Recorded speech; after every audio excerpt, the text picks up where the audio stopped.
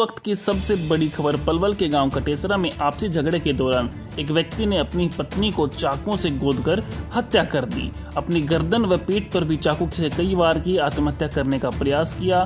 चांदहट थाना पुलिस ने मृतक के भाई की शिकायत पर मामला दर्ज किया। पुलिस जाँच अधिकारी ने बताया कि पलवल के कैलाश नगर निवासी बबलू ने शिकायत दर्ज कराई कि वह मूल रूप से करोका गाँव, जिला मथुरा, यूपी का रहने वाला है। यहाँ पर किराए के मकान में रहता है। पीड़ित ने अपनी बहन नीतू की शादी कनवाड़ा गाँव जिला भरतपुर राजस्थान निवासी गंगाराम के साथ 20 नवंबर 2020 को की थी गंगाराम अपनी पत्नी नीतू के साथ कटेशा गाँव के किराए के मकान में रहता था।